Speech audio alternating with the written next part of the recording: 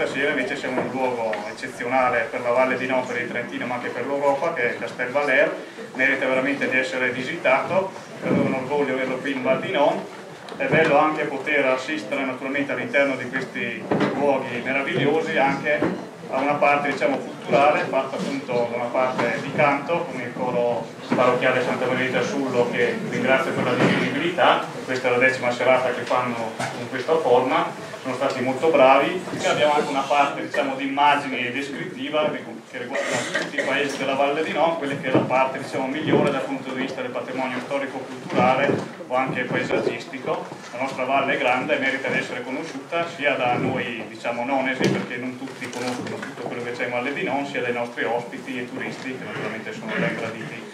A me non resta che ringraziare tutti voi della presenza, augurarvi un buon ascolto e grazie ancora.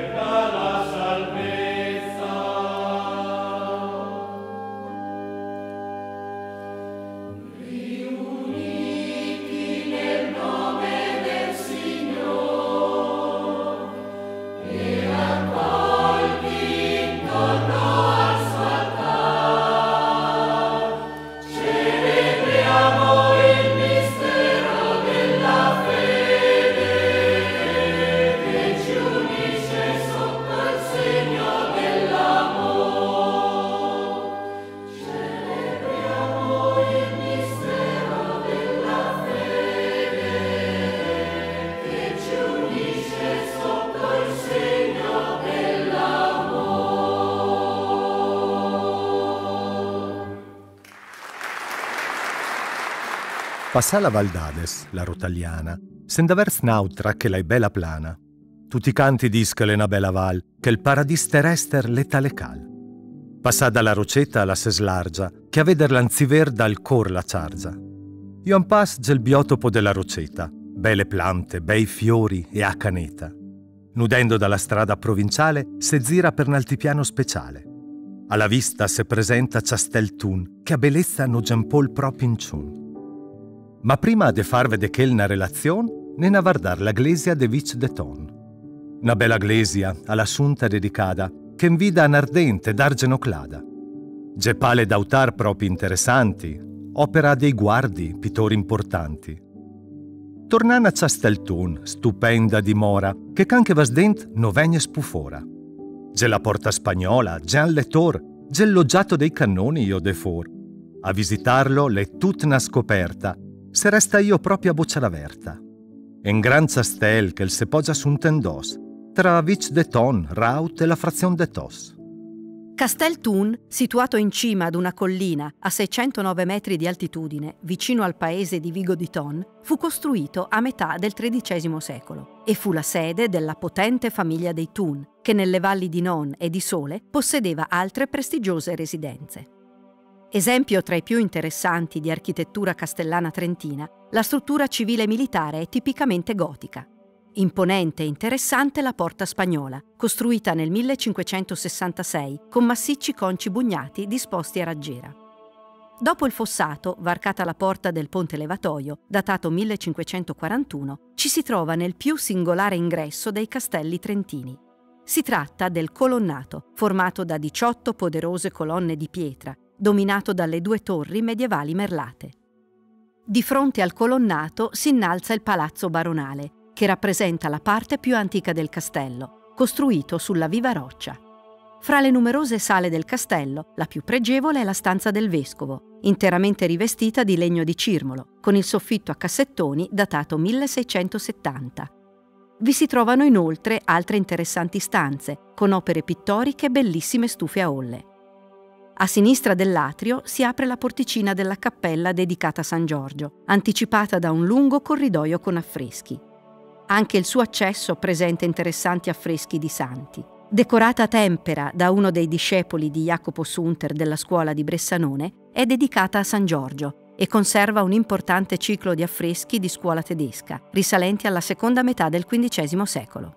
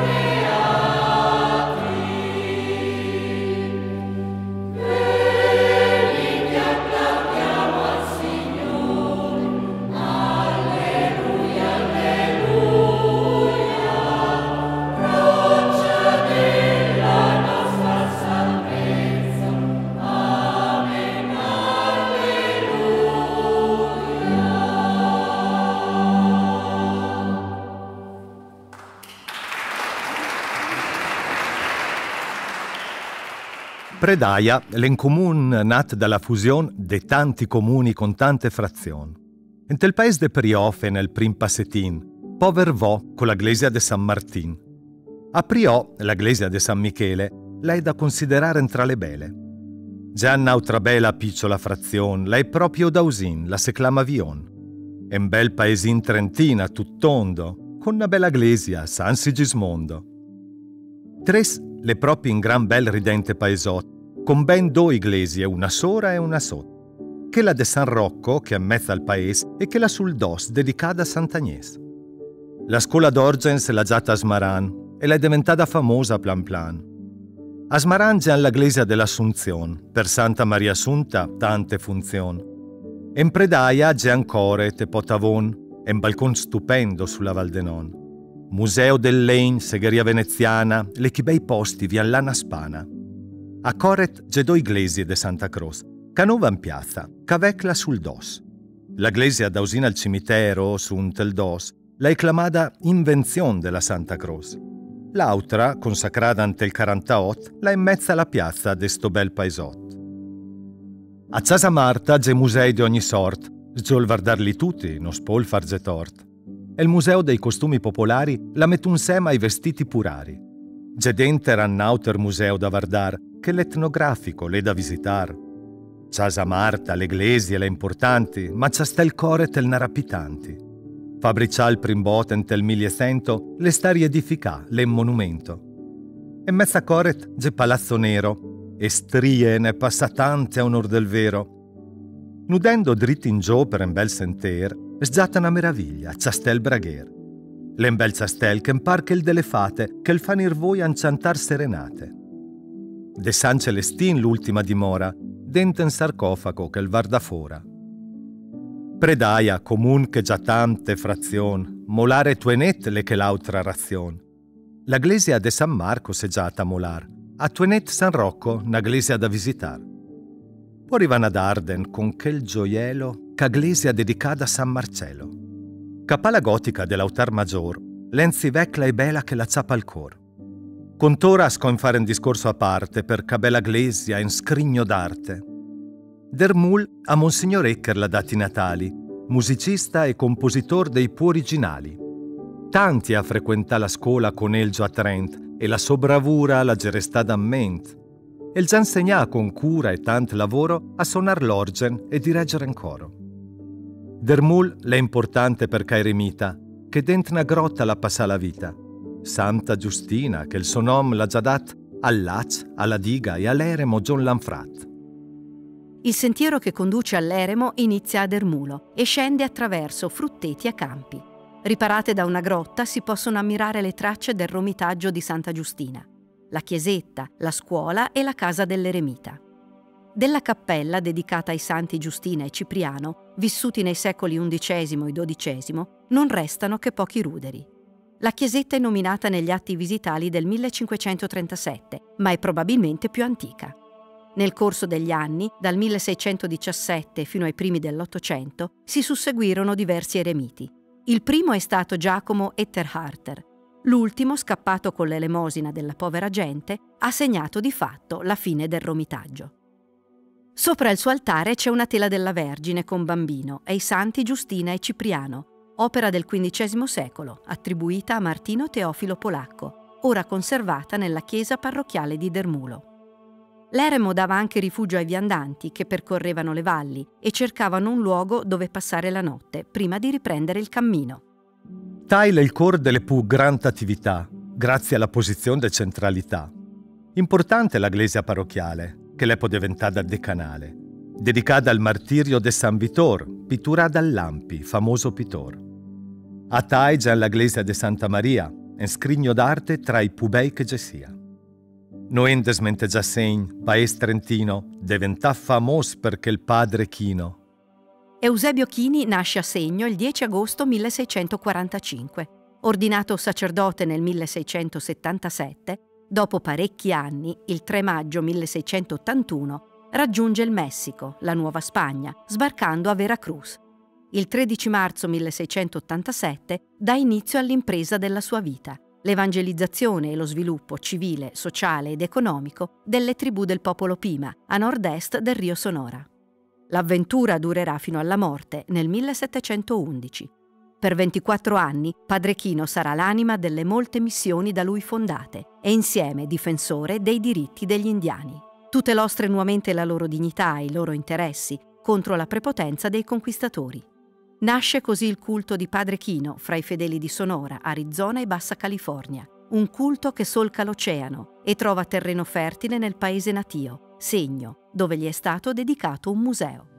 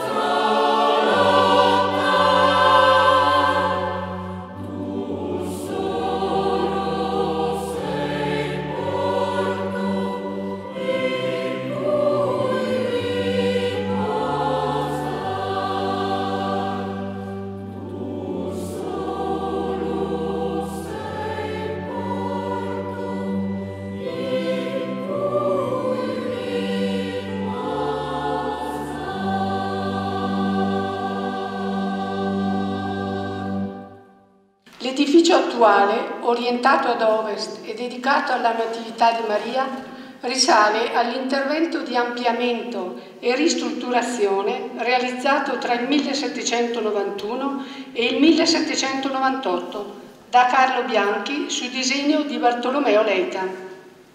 La facciata a due spioventi e con gli angoli smussati è divisa nella zona inferiore in tre settori al centro si apre il portale archiviato in pietra calcarea, elevato di un gradino, mentre più in alto una cartella bilobata con l'iscrizione dedicatoria della chiesa separa, separa due finestre sovrapposte dal profilo mistilineo. All'interno la navata unica è divisa in tre campate coperte da volte a botte, unghiata da coppie di paraste intonacate raccordate in alto dal marcapiano modanato. Il presbiterio è coperto da volta a vela e ornato di stucchi e affreschi settecenteschi, realizzati da Leone Casalini e Pietro Paolo dalla Torre. Sui pennacchi del presbiterio troviamo la personificazione della fede, della carità, dell'innocenza e della pace. L'altare maggiore, costruito in marmi policromi, ha un'icona addossata alla parete di fondo con un dipinto di Carlo Vanzo, pittore dell'Ottocento, che rappresenta la Natività di Maria. Sfruz le rinomà per le stufe a ole, che da l'om dalla testa alle sole. Ole de ceramica incoloride, a formar stufe che l'empar scolpide. Sant'Agata, in mezzo al paese, la edificada, e val proprio la pena dar genoclada. Il paese dei brusamartiri, San Zen, de storia, leggende, arte, le bel plen. Martirio, Sisinio, Alessandro, Chitrei, gli stati squartati, stroziati dai pei. Una bella basilica è già dedicata, Zolfonta al paese, da usina al Segrà. Casa de Gentili, punsunta al paese, la è stata conciata e fa mostre de spes. Casa stupenda che la mette soggezione, ma che anche vas dent te passa il magon.